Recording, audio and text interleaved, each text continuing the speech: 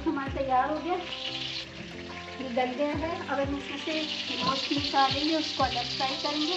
अभी हमने tomatoes fry किए और टोमेटोज भी फ्राई हो रहे हैं।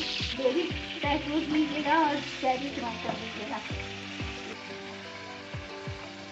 अब यही ऑयल हम है ना, इस्तेमाल करेंगे गोश्त में।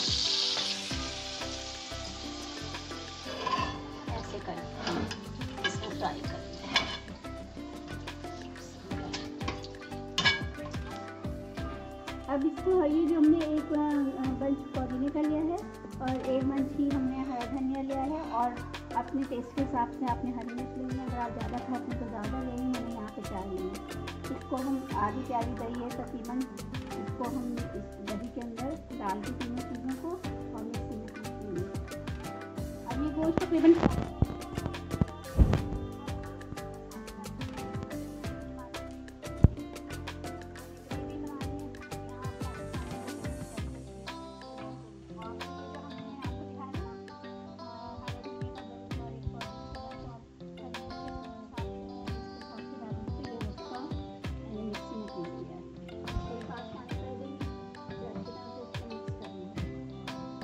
गला हुआ है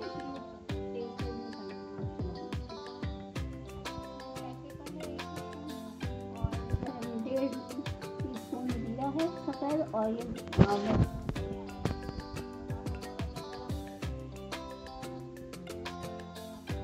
ये हमने अल्मीनियम की फॉइल की ये प्याली से बनाई है, जिसमें हमने ये कोयला रखा है स्मोक की फ्लेवर देने के लिए।